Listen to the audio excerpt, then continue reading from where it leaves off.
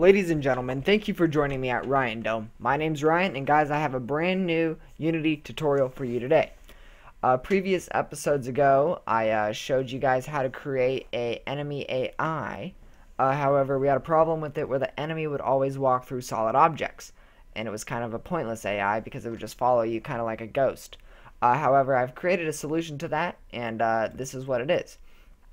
Basically, we need this enemy to walk around this wall. So we need to give it some kind of pathfinding ability. Now what's cool about Unity is it actually comes with a pathfinding kind of a, a uh, pathfind. It comes with something that already maps out a pathfinding path for the AI. So what you have to do is go to Window, uh, Navigation. Mine pops up over here. See how I have the inspector and navigation? And what I'm going to do is I'm going to select the ground that I want the enemy to walk on. And I'm just going to go down here. Actually, I'm going to click bake. I'm going to make sure all these settings are correct. I'm just going to leave them as they are. I'm going to hit bake. And uh, if your map is huge, it'll take um, a while.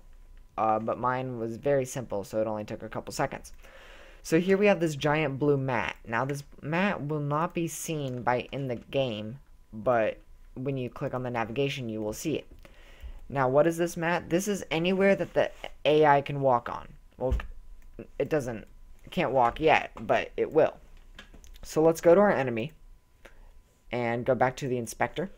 And we're going to drag our enemy script onto the enemy. Now, what is this enemy script, you ask? Well, it's a script I completely, uh, or not completely, I created. Um, and basically what it does is it finds the player, a game object with the tag player, and it tracks it down and it doesn't have to be the player, but it, it, it can be whatever you want. So let's go to enemy, drag this on here, and you'll see it comes up with options. Uh, and what we're going to have to do is drag this object, which is the enemy, so it's, it's itself, and the target, which is my first person controller, aka the player. And we're going to have to click add component and do nav mesh agent, this one and you will see it pops up with a whole bunch of options.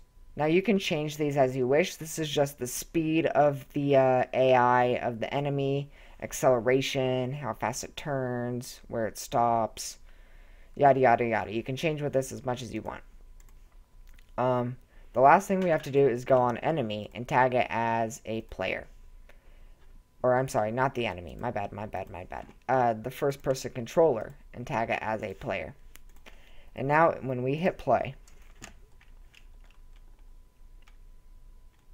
the enemy walks around the wall. So it no longer goes through the wall. It just walks around it, which is pretty cool. Now, there's a couple things you need to make sure uh, that I forgot to mention. On these, uh, on objects that you don't want the enemy to walk through, like for example this wall, you need to make sure it's static. Uh, and you need to make sure it's static before you navigate and bake your map. Sorry, I forgot to mention that. Um, otherwise, it doesn't work as well. But that is it, guys. Uh, that is the simple AI tutorial. Uh, this script, the enemy script, will be located on my website in the description below, uh, along with all the other scripts that I have ever created. And, uh, yeah a lot of you guys have been asking like, hey Ryan, can I use your scripts for my project or can I make money off of it? Just a reminder guys, all scripts that I post on my website are for your use, commercial use, whatever you guys want. Uh, I don't ask for you guys to put me in the credits, but it is greatly appreciative. Uh, however, use it freely as you want. You could take it, make your own videos off of it, whatever. I don't care. It's for you. It's for public use. Enjoy. Alright guys, that's all my time. I hope you enjoyed. If you liked the video, make sure you leave a like down below. Comment if you have any questions. And guys, I'll see you in the next one. Bye-bye.